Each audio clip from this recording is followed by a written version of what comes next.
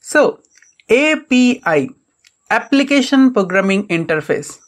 So what is an API? How it will going to help us? All kind of stuff we are going to learn in this video.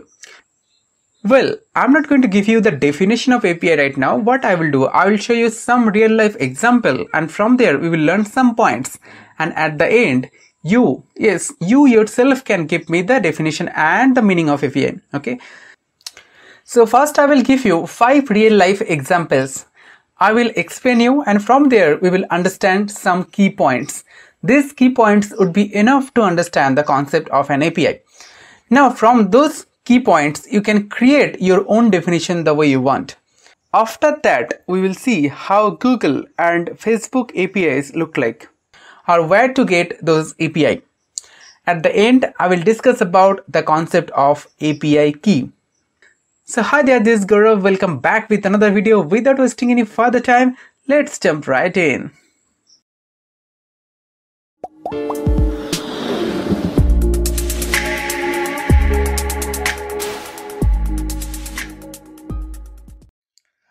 Okay, so let us start with the very first example, which is a very common example and you all are doing it. So you can easily relate with it. And that is sharing WhatsApp status. Now let's look at a video. So let's say I'm going to share one picture in my WhatsApp status, okay? So if I click on it, then this picture will be shared in my WhatsApp status. At the same time, I'll get one option called share to Facebook story. So if I click on it, then what happened? The same picture with the same content, whatever the caption that you have added, the same thing will be shared in Facebook story. Now how it is happening? Yes, this is happening because of API, right? So we have learned something from here. That is, because of API, two pieces of software, like one is WhatsApp, another one is Facebook application, right? Two pieces of software, they can communicate together, okay? This is because of API. So actually, this API is created by Facebook and Facebook is sharing the API to WhatsApp and WhatsApp is using it, okay? So API is nothing but a service service is nothing but a piece of code okay so two things we have learned from here number one using api two pieces of software can communicate to each other okay and the second one is it is nothing but a piece of software like a service okay so this is the first example like we have seen how API is working. So slowly we will have more points and we can build a very good definition of an API.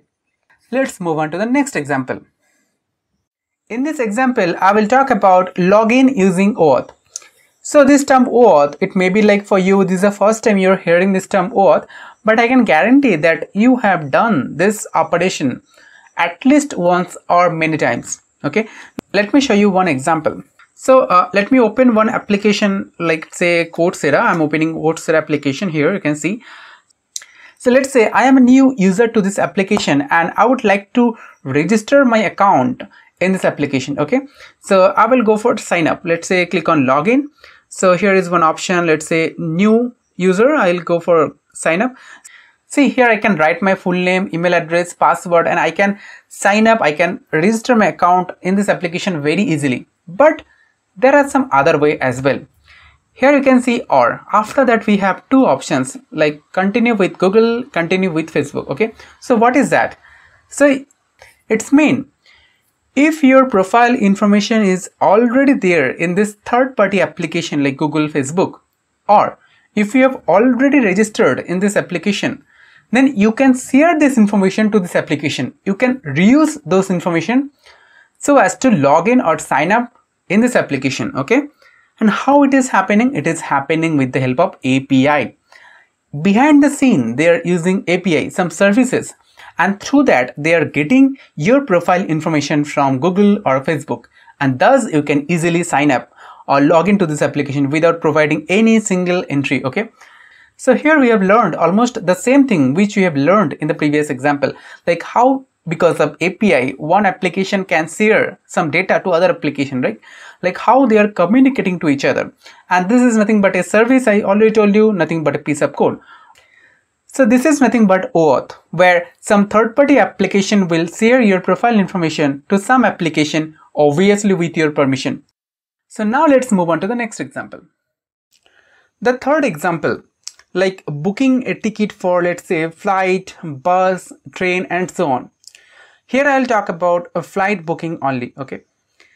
Let's say I'm going to book a flight in one airline, let's say in Indigo. Now tell me one thing. How many of you are there who are actually booking this flight from Indigo website? I really doubt it because you need some offers, some discount, and that's why you are sometimes using Paytm, PhonePe, EaseMyTrip, Flipkart, Happy EasyGo, GoIbibo, PayPal, Make My Trip, and so on. Okay, so you are using all this kind of application to book a flight just to get some offer or some kind of benefit. Now, how it is possible? How we can book the same flight from a different application? This is possible because of API. Now Indigo is creating their own API and they are providing it to other third-party application like Flipkart, Paytm, PhonePe and so on. And they are using this API and because of that, you can book the same flight from this application. Okay. Now you can understand two things from here. Number one, because of API, this all applications, they are connected. Number one. And second one, because of an API, one application can have lot of features. They can integrate multiple features into it. Like using Paytm, you can book a flight, you can uh, book a gas, you can uh, pay electricity bill, you can recharge and so many things that you can do with the help of Paytm or other application. This is possible only because of this API. So this example is I think a very good example for understanding the concept. So what we have learned from here? Number one, all applications are connected. Because of API, we all are in connected era. Number one. Number two, integration. You can integrate multiple features in your own applications. Okay. Now let's look at the next example. The fourth example, I think this is an example where you can understand the actual importance of an API. So this is about Google Map Web Services. So let's talk about a uh, cab services like let's talk about Ola Uber. Okay. So in this cab services, you can see they're using something called GPS or Google Map Web Services just to track their customer or car or destination. But does it mean they have their own uh, satellite, uh, sensor, all this kind of stuff? Not at all. They don't have. They are just using some API services okay this services is provided by google they're just paying for it and they are just using these services and they are working so this gps service is a service. You can see lot many applications are using it. Let's talk about other application. Let's talk about online food delivery application like zomato swiggy okay? So this kind of applications are also using GPS or Google Map web services just to track their food or delivery boy. So you can see Google has created their own API and other applications are using it and they are paying to Google and this is how Google is earning money. So what you have learned from here, number one, you can create your own API the way Google has created and you can share with other and this is how you can earn money.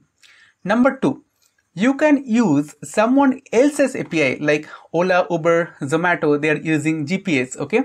Someone else's API and thus they are making money. So two options, either create your own API or use someone else's API. Third one, which is an important one, it is nothing but an interface. Yes. So API is something like it will tell you about what. It will not tell you about how. Like it is nothing but an interface. It will not tell you like how the logic was written, what kind of services are written. It will just give you the value. That's it it's all about interface. Okay? The fourth point some apis are free some are not. Let's talk about gps so up to a range it will be free for you.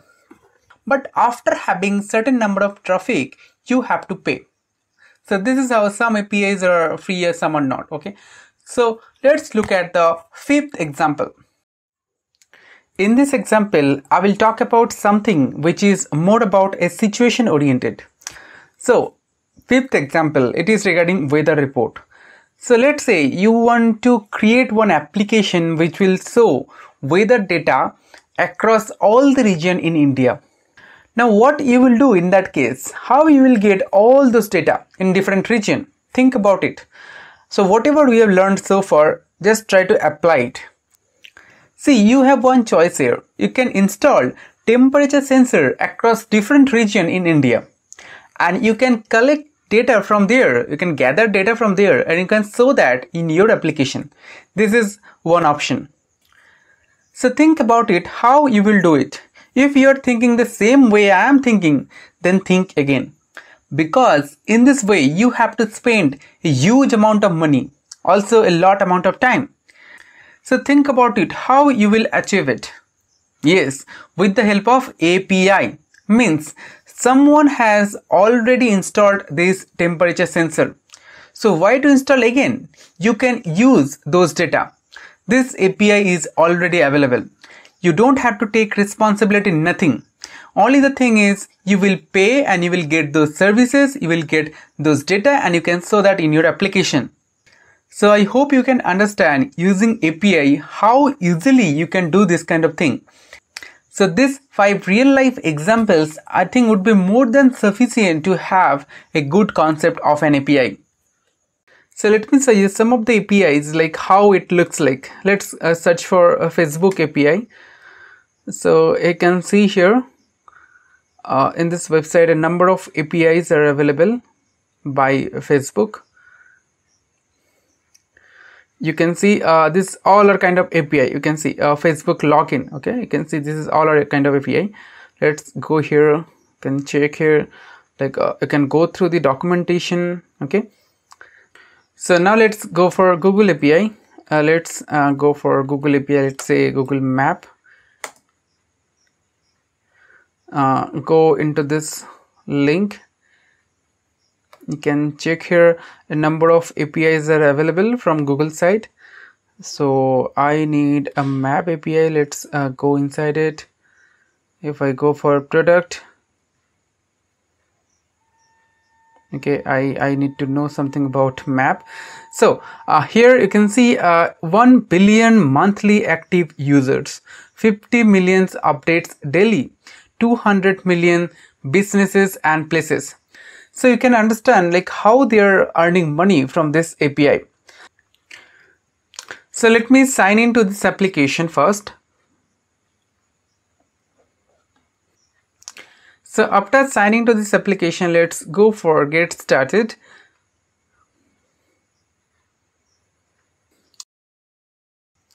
So here you can see my account is already there in this application. I have already created one project so from here you can create some new project okay and in that project you can use uh, those kind of api whatever you need in credential you will get that api key so API key is something which is unique. This is how you can authenticate yourself in this API.